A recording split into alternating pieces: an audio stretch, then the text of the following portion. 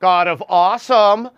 Okay, God of War 3. I have to say, uh, of the big games that have been coming out this year, it was Mass Effect 2 and God of War 3 that had me like the most like kind of tear my hair out. I want to play this game so badly. Um, reviews up on the site. Gave it a five out of five. Uh, I want to give a, a note because I've been handing out some very nice scores as of late. I did not intend to review God of War 3. I had a copy uh, two weekends ago, and I also happened to have laryngitis, and so I had a lot of time in my hands, and so I was excited to just be playing the game. Um, ironically, I finished the game uh, a week ago Sunday at 3:55, right before 4 p.m., which would have been the point that I could no longer been able to play God of War 3, which unfortunately happened to uh, the intended reviewer here on the staff. And so when I came in on Monday, I was the only guy that had actually gotten to the end, and so it fell to me to present the assessment. Uh, I just wanted to throw that out there. Uh, the game is absolutely awesome, and one of the things that I found so impressive with this game, which is something I found very impressive with Uncharted 2,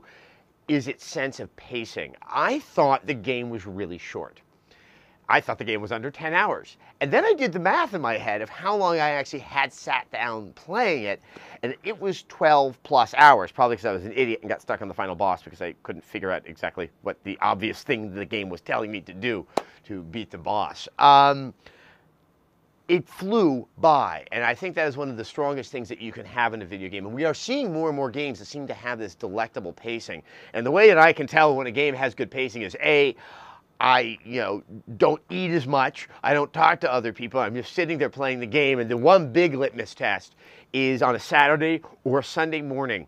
If I very quietly get up, step over my wife, make the coffee, and then run in at 6.30 in the morning to sit down in my underwear and play the game. I had that uh, effect when I played Uncharted 2. Same thing happened with, with, with God of War 3. Um, to have great pacing in a game, I think, is actually one of the most challenging arts that you can find in video game development. I mean, back in the old days, it just seemed like, hey, if we just have a lot of game in here, that's good. And I believe even Cliff Bleszinski himself would say that in the original Unreal, it could have had probably five hours taken out of it, and you would have had a, a, a brisker and a briefer uh, and a more enjoyable experience. Um, to get that sense that everything is changing, and that's perfectly what's happening perfectly in God of War 3. That what's happening around each corner, you, you don't seem to know, and that's what's driving me to say, like, I, I, I, I got to see what's over there. Another thing that God of War 3 does that I don't see as much in God of War 2 or the original God of War is there's no predictable sense of pace.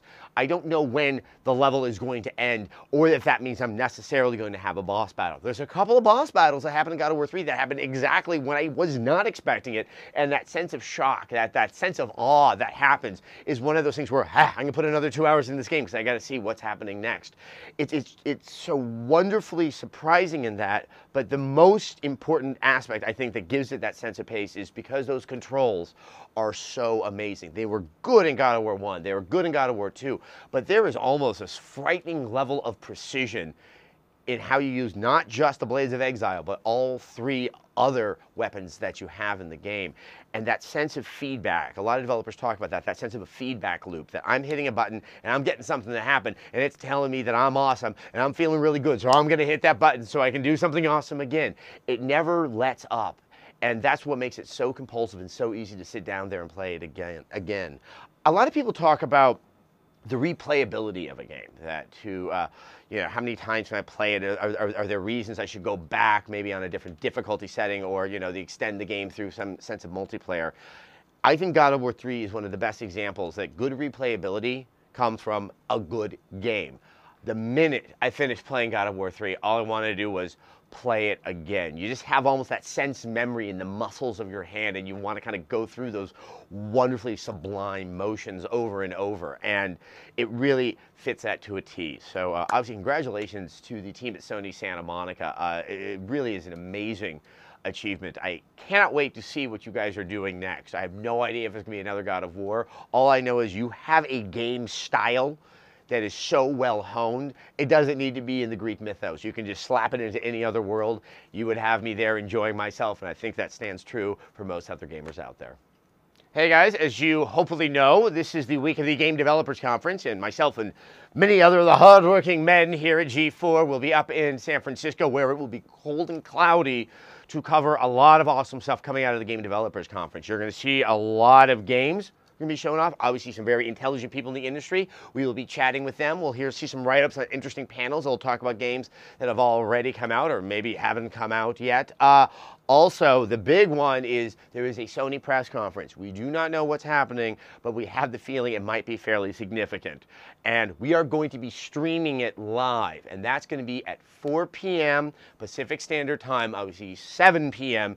Eastern Standard Time. It's going to be on our website. Obviously, uh, we're excited about it, so you should be excited about it too, and hopefully you can join us too to, to watch it as we're watching it. If you want to see that press conference, go to g4tv.com slash Sony GDC, and then you can watch it there. Obviously, if you miss it at 4 p.m., you can probably, you know, I know you can catch it at 5 p.m., 6 p.m. the following day the following week. It should be very, very exciting, and I imagine there will be a lot of yammering from me and Patrick Klepek and Andrew Pfister about the things that we're going to learn up there, so check it out.